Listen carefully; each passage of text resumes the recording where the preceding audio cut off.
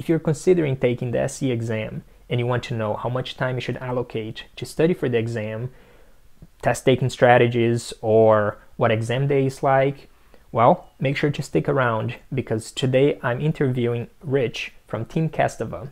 And Rich took the exam in October, just like I did, and he's gonna go over all these little details and give a lot of great advice to future test takers. And if you want to know my perspective on how I felt about the exam and all the little details that I'd also want to give, make sure to check out Rich's channel where he interviewed me and I gave my perspective on the exam as well. I'll have the video linked up in the description below and also at the end of this video. Now, without further ado, let's get to it. All right, guys, so we have Rich here from Team Kestava. And of course, Jose didn't come to the auditorium again, right, Rich? Absolutely. Um, he was late, as always. Yeah. So I guess I'll, I'll, ask you the questions. Um, Perfect. The the first one I wanted to ask is just like I guess if you can just tell us a little bit about yourself, how how many years of experience you have, and then what motivated you to to take the SE exam. Yeah, so I coming up now, I have uh, I think a little over seven years experience in the civil structural engineering uh, industry. I say I always say civil structural because technically yeah. I'm not a structural engineer until I pass this freaking SE exam. Um, so yeah you know, by licensing standards, you're still just a professional civil engineer. Um, but yeah. I've, I've focused in structural design my entire career. The next question I had was just what made you decide uh, to take the SE exam? Yeah, so it was kind of just getting around the point where um, I thought that I was seasoned enough that I had kind of touched all the different um, you know, design materials for structures, you know, concrete, steel, masonry, maybe not so much masonry, uh, wood, that mm-hmm. I thought I could, um, I would have a good shot at preparing for the SE and uh, and passing. And it's one of those exams that you're always told by coworkers uh, who have taken it that the longer you wait or the longer, the older you get, the more responsibilities you get. So yeah. do your best to take it earlier on in your career if you feel like you're in a position to do so. And I, I felt like I was. I knew I had a lot of studying to do um, for sure, but I said, you know what? Let's dive in. Let's take it. And then the last kind of kind of straw that broke the camel's back, so to speak, is uh, I heard that the exam was switching from paper based to computer based in in mm. the coming years. I think 2024, and uh, I, I didn't even want to understand what the implications were on that. I was like, I want to take this thing pen and paper. So yeah. let's do it. Yeah. And uh, how many years uh, did you say you, you have um, of experience? Uh, a little over seven, I think. A little over, over seven. Okay. Back. And um, having that much experience, how many hours do you think? I don't know if you quantified exactly um, all the hours you, you spent studying, but more or less, how many hours do you think you, you spent um, studying for this exam. And just so everyone know, Rich, you took gravity only, right? Not both gravity Correct. and lateral.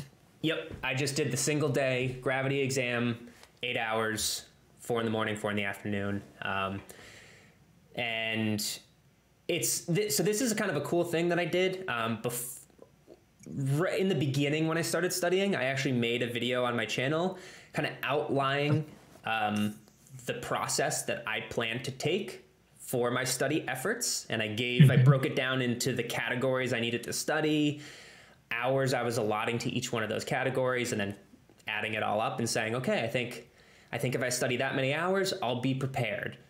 Mm. Um, yeah. And while I haven't done a follow up video yet, I can tell you all here, I went way beyond the number of hours that I, I allocated. It was really easy to say, I'm going to study five hours of, you know, steel design, 10 hours of AASHTO, five hours of wood, um, yeah. you know, 20 hours of structural analysis, general overview or whatever. And it just, everything yeah. just bled out. Not in a bad way, uh, just in a way of once your your head was down and you were studying, you realized how much more there was to learn and you just kept yeah. going. You kept going and then four hours went by and you didn't even study the thing that you sat down to study yeah. that day. So yeah, it's been and, and, I watched that video um, actually, and I know I think in the comments some people who had taken the SE before said, "Bro, you're gonna end up studying a lot more than what you're describing." Uh, how did you feel? Like, did those comments uh, influence just how many hours you wanted to study more, um, or, or how, how did that go? Um, I I saw those exact ones, and uh, yeah. you would think, uh, uh, you know, uh, we don't know yet if we if we passed or not. Yeah. Um, but just taking the exam, I think prior to taking the exam, you would think seeing those comments, you'd get a feeling of like dread a little bit, or like, yeah. oh man, like what did I get myself into? But yeah. it uh, they weren't. You realize after you go through the process, they weren't leaving those comments to to give you that feeling. They were sending you that message, message to say yeah. there's a lot. Like you're gonna you're gonna see so many things, yeah. um, and unravel so many more things, and just the hours are gonna fly by. And yeah. it, it was very true. So I I think I allotted like 120 or 140 hours for my studies mm-hmm. for just the gravity portion. And I mean I I think I I clipped over 200 and and I ran out of time. Actually, uh, the test, you know, the test came and was like I had to skimp on a couple of areas that I thought I knew well, but I just I would have loved to brush up on, and I I didn't have the time to. Yeah. So, um, yeah, I'd say 200 plus for sure. Yeah, same here. Um, and knowing all of this, you know, study prep um, that you did, is there anything that you'd have done differently looking back? Um, I would have, I would have started earlier. This is a mm-hmm. this is a me thing and the way that I take tests. Yeah. Um, I I was always a really poor test taker all the way up through college, through engineering school. You know, I was the one I was getting 70s, low 80s. Mm-hmm. Um, studying a lot. I wasn't just going in and being like, oh, whatever. Um, yeah. I I always throughout my whole life had to study a ton and I had that test anxiety and I had that, you know, yeah. the nervous jitters and I sometimes maybe I've overpacked my brain too much and then I, I show up and then it's just, you know, you, you just blank. Um, I had a lot yeah. of those problems throughout my whole life and it wasn't until, weirdly enough, wasn't until I became, or I got into the professional field when the the things that you learn and that you mm-hmm. retain go along with you know kind of go along with your salary and the yeah your, your worth and you i realized that hey i'm not i'm not doing this anymore to get a grade or to i don't know make people think that i'm i'm smart or i know what i'm doing i'm doing this for mm-hmm. myself for my career yeah. because i think it's fun and because it you know, at the end of the day, it does make you money and it provides for your family. So, yeah, like it just kind of realigned all of my goals and didn't put all of those fears to the side and was like, hey, the more you know, the better it is for you. Like you, yeah. you alone, it only benefits you. So if you want to know more, like go for it. Like let's do this. And um, kind of just looking back, um, I would have allotted more time for my studies. I, I think yeah. I signed up um, mid to late summer because I caught wind that it was changing in the future to mm-hmm. To computer based. So I was like, let's do it. Let's do it now, even though I would have given I would have signed up so much earlier if I had like really been preparing. Yeah. Um, so that's my only takeaway is that that's what I would do differently. I'd give so myself that more time you started when late July, you would say? Yeah, I think right around there. Okay, yeah, um, and I think uh, you touched on a point that is great that I, I'd like to highlight.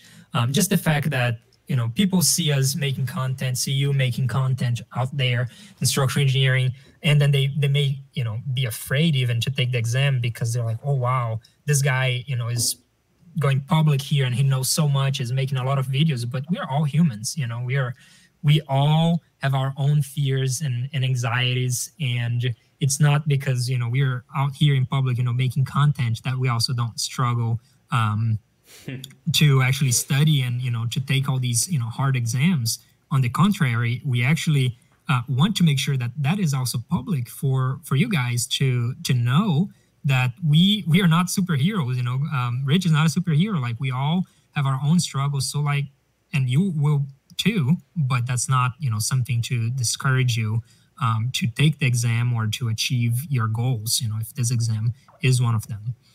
Yeah. So I, I'm glad you you brought that up. Yeah.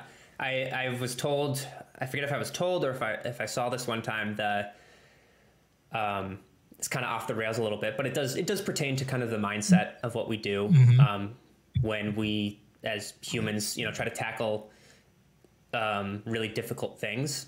Uh, and they were they were talking about the mindset of like a real like the highest level professional athlete kind of thing or olympians or yeah. that kind of stuff like a big grand stage that you, they've put all this time and energy into for this one shot and kind of regular people or the interviewers always go up and say the same thing. They would say, "Oh, weren't you nervous? You know, how did you yeah. how did you pull it off? I can't believe it. Like I would have been so nervous." And they they always say, "No, I was, you know, I was excited. I was I wanted yeah. to show off my hard work because I knew that I prepared and yeah. I knew that I could do it." And a, a researcher kind of broke down a very simplistic comparison of saying, hey, just look at it this way. What are kind of the the human traits of when you're scared or nervous? You know, your uh, your breathing kind of heightens a little bit. Your your palms maybe get a little sweaty. You know, you get mm-hmm. some chills. Um, you're fidgety, and then and then they went. Now tell me the characteristics of when you're excited to go do something. Uh, and, and then they, they go on to say your palms are a little sweaty, you got some goosebumps, you're fidgety, um, you know, your breathing yeah. is increased. It's the same exact feelings for two completely different um, Uh, states of mind. And as yeah. long as you can work on kind of flipping the switch and tricking yourself into saying, hey, my body's experiencing the same things as it would if I was excited. So maybe I am excited to go do this. You know, I'm not yeah. scared to go do it. I'm actually excited. And as yeah. you it's not something you can learn overnight but as you train yourself slowly to do that it is I, have tried to do that and it has helped me throughout my not just for SE studying but for how I develop my career as well that's awesome and that also touches on just exam day experience um, how how was it for for you and that's not we're of course not going to get into details of questions um, because that's not allowed by um, NCEES, the exam uh, authorities. Um, but how, how was it for you? Like, did you have to travel? Did you allocate enough time? Um, were you actually, you know, sweating your hands during the exam and or feeling confident? Um, can you expand expand a little bit on that? Yeah. So I had to. So I'm over here in in Oregon, um, in the U.S. So. Uh, Rômulo is over there in Florida, living up the life, sunshine, palm trees, white sandy beaches. Florida. and we're in, uh, you know, we're over here in gray, gray skies, rainy. Um, but we got some big mountains and some some cool trees and stuff. Um, but I unfortunately had to travel uh, out of state to take it, uh, closer to oh. Seattle. Um, it was actually a collective of three states, I believe. I think Oregon, Washington, and Idaho all oh, had wow. to travel to one test site this year. There was only there was a handful of people that took this thing. Um, but so I had to drive about two and a half hours. Thankfully, there was a hotel right next to the testing site. I'm hoping that they do that on purpose and they think about you. yeah. But um, so I grabbed a room the night before. You know, I, I'm big with um, with kind of the foods that help with my mental focus. So I kind of brought my own food with me that that helped me stay that I think helped me stay focused you know, I'm not eating a big like cheeseburger or something, you know, or yeah. um, something that's going to make me tired.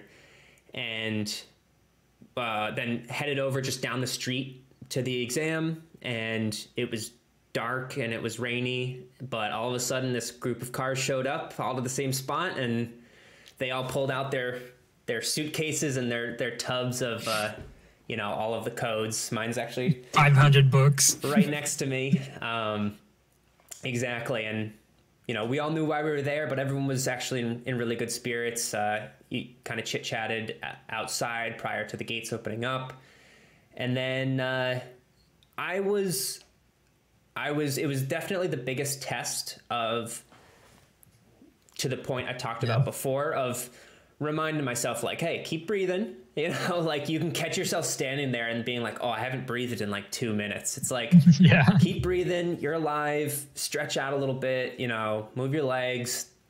You're good. Yeah. Think about all the things that you've, you know, you've studied and that you've done that you know and that you're confident about. Um, I had a couple friends there, thankfully, so that was also nice. So we chit chatted as well. Nice. And nice. Uh, yeah, had a had a good time overall. Okay. Were you on the younger side? You said that not many people, even though you guys were from three different states, um, were you on the younger side of the crowd or was it a pretty wide range? Yeah, I, I would say I was on the, the younger range. So I'm 30 now. Um, my my buddies are also, I, I believe, same age as me. Um, but the it could range. I think there might have been a few people younger than me there um, but almost everyone was was older. Um, okay. Uh, maybe by only a couple of years, and then it, it went up to maybe um, a handful of people in their their mid mid forties, potentially late forties. So it was it was a good range, but I was on the younger side. Okay, cool. Um, and then for those who don't know, the exam is divided into at, at least right now into an AM portion or in the morning breath are 40 uh, multiple choice questions that you have four hours to answer. And then the PM in the afternoon, um, there are only four questions, and those are more in depth um, questions. So, Rich, how do you think you did um, in the morning versus afternoon? The morning, I felt I felt strong on. Um, there were I I was just falling behind a little bit with my time management as I moved through the questions. Mm-hmm. Um, so I got to the end, and I want to say maybe there was three, four, five, where I was able to, you know, cross out a couple of of the possible answers and break it down into a, an A B, you know, this or that kind of kind of answer. But I did fall a little short with my time management on that front. Mm-hmm. Um, but overall, I, I thought the, the questions were manageable. I thought I knew where to go and find the information to, to get the solutions um, for just about all of them. Mm-hmm. Um, the afternoon, I unfortunately, this is where I think I made my mistakes. Um, mm-hmm. I started off really strong uh, with my, my first question, but realized that I again was behind on time a bit, so that started eating into my other questions. Yeah. Uh, got a little turned around, I guess. Overall, that's kind of the the most I'll give, and it cost me more time.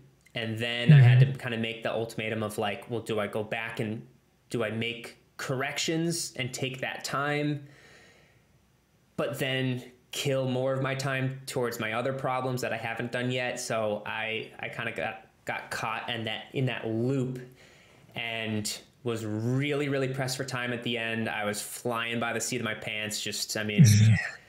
I was showing the power of street smarts in, in yeah. one of those problems, and uh, um, you know, did my best and, and did what I could. Um, but the time management is no joke with this test for sure. Yeah, definitely. It is. Uh, it is a marathon, you know, studying for it, um, but it's also way more than just knowing the content. You you actually have to know it and be fast and be quick in in answering um, everything. So I'm glad you, you also mentioned about just outlining um, items because it's not fully known exactly how um, the exam is graded. Right now i mean real people grade the afternoon because it's it's an essay um, type of problem or the, the problems mm-hmm. are essay um, questions. And from from what i know and you guys can correct me in the comments or rich um, but usually uh, the grades are either a for acceptable ir for improvement required or u for unacceptable And it seems like if you get any question that is unacceptable in the afternoon, so you aced, you know, three of the questions, and then the last one you just left it completely blank because you didn't have time, then that of course that would be unacceptable, and then you'd fail the entire exam. A way to get around to uh, around that is if you're running out of time, the last you know 10, 15 minutes, just outline um, what you know about the question and say I ran out of time and write down the steps that you would take without punching any numbers. And I think, Rich, that's what you're saying. Um, you you did to an extent, um, right? Um, and I had to do that as well because, uh, as I we discussed before, I also um, ran out of time in the afternoon. So this is also great advice for people who are planning to take the test. That even if you struggle with time, um, especially in the afternoon, there is there is still hope because you can still get um, some scores and some free uh, points because the grader will know that you know your stuff. You just didn't get, you know, enough. You didn't have enough time um, to finish it. Um, yeah, there's definitely a, a dance to it. Um, yeah, fast paced, cool. fa- very fast paced. Yeah, yeah, yeah. It's um, a it's a marathon of studying and it's a sprint of test taking. yeah, that's that's a good good analogy. Um, so, Rich, what advice would you have? I know we already touched on several um, different advices um, here, but which ones would you have for future test takers? Um, you know, something that helped me a lot. Um, make sure you look at the the NCEES kind of outline of the number of questions that they're going to allot to each section. Um, and uh, pay pay attention to if you're a building engineer taking the you know the building exam. Uh, they don't just kind of skimp over AASHTO. They yeah. they hit you with a decent amount of AASHTO questions and it, it does mimic that in practice exams and stuff. So don't just think like eh, there's not going to be that many because i'm doing buildings. Uh, do your due diligence with AASHTO I know that you know you might be going, "Oh man, crap! Uh, I never design bridges." But um, at the end of the day, with with AASHTO, I will say that it's still just stresses and forces and strain and all the same building materials. It's just slight changes to the rules that what you're allowed to do and some equations yeah. and stuff. So don't think it's some completely foreign thing. It's they, they make it similar yeah. um, with with what you know already for building design. Um, maybe one more, one other piece of advice is make sure you know. Actually, yeah, make sure you know the basics. Um, I may have gotten tripped up a little bit in my studies, thinking like, oh, I need to know this uh, this kind of maybe a little more obscure design question or you know problem because they're going to try to trip me up. And i i think they did a very good job of being realistic of saying hey we understand we only give you this much time. Yeah. you're going to be stressed. So show us that you you know can do a design of something that you see commonly.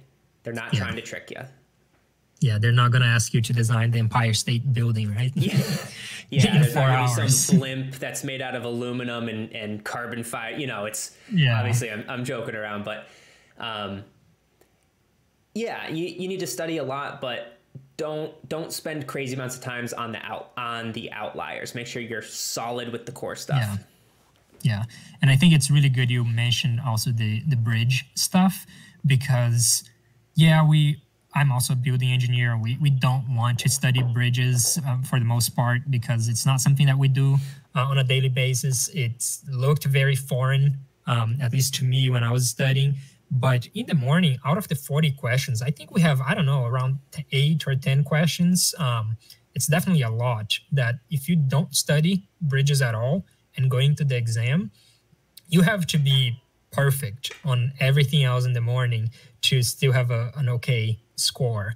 Um, so I I agree 100% with that comment. And it's not like just like you said, the questions are not are not terribly hard and a lot of the questions could be just looking things up in the AASHTO code and you know being familiar with the code at the end of the day as rich said it's just it, it is structural engineering it's all mm-hmm. structural engineering maybe worded differently maybe organized a little bit differently so it just takes a little bit to you know to get used to how how things are laid out. Yeah. Um so rich now that we went through the marathon and then we went through the sprint um, and the test is over and we have to wait maybe until december um, for us to get the results how are you what are you doing on your free time um, besides you know all the all the studying?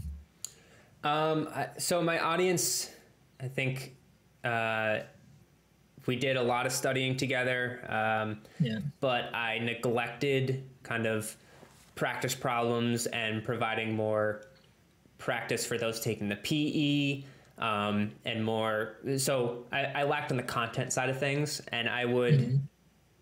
Uh, I'm enjoying getting back into the process of, of providing more of that. So, yeah. spending a little bit more time on that front, which is studying in its own right, but it's it's still very different. I I really yeah. enjoy making content, so I'm going to be diving more into that. Um, so everyone out there, keep your eyes peeled. Uh, I enjoy um, some gaming. I actually uh, gamed a lot as a kid, and then once I went off to college and everything, I, I you know kind of put it all away. And mm-hmm. really, the pandemic was the thing that kind of brought that back when we were all in our houses, kind of sitting there and and, and fearing for the world. Um, so I I've enjoyed getting back into some gaming. So I'm doing a little bit of that again, which is really fun. Um, nice and then yeah, just spending time with uh, with my girlfriend and our animals. Uh, we have got a dog and a cat, so uh, we've been going on some hikes, uh, seeing some friends, bike rides. You know, it's it's now the rainy season here in Oregon, so we're winding down some of that outdoor activity, but it's starting to get cold, so hopefully we'll be doing some some snowboarding here soon. Cool. And cool, I'll be getting yeah. a haircut. I don't know if anyone can see this flow right now, but it's in shambles. I, I put everything on the side to study, and a haircut was one of them. So yeah, I'm excited for that.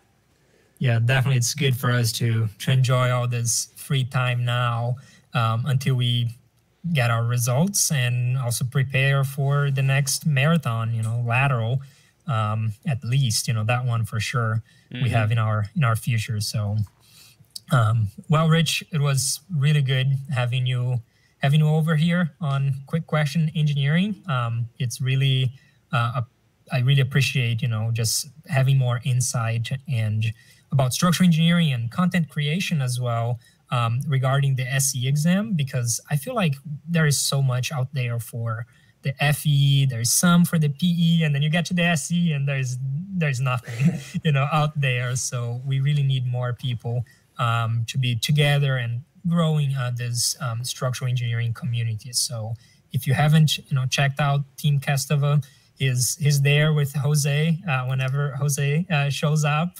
Um, so make sure to to check out his channel. Yeah, Rômulo with uh, QQE. Thanks for having me. Thanks for reaching out. I think we had a, a great conversation, and uh, we're definitely going to have many more. So thanks for having me. All right. Thanks, Rich. Thank you, guys. And we'll see you all next time. See ya. Peace.